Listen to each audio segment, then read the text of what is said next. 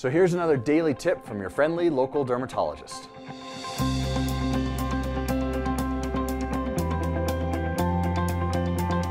So what happens when you sweat?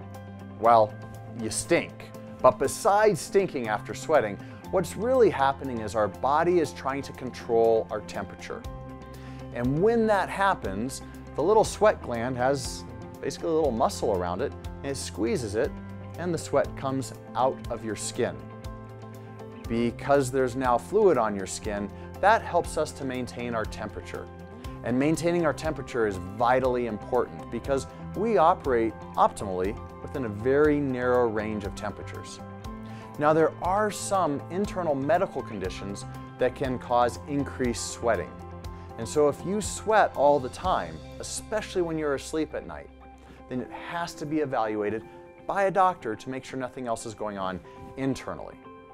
And the other thing I'll say is that a lot of times we sweat because we're anxious.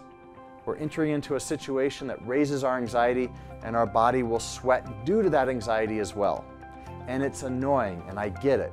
And so if you always have a situation that you are anxious about and that causes sweating, then please start with the basics.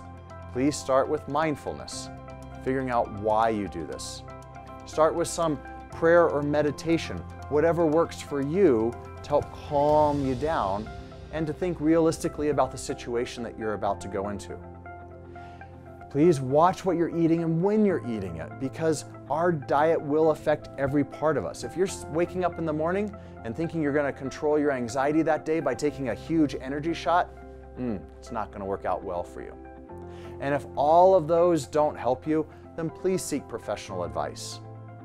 Guys, there's no need to be held hostage to excess sweating. There is help out there, and your local dermatologist, well, we're happy to.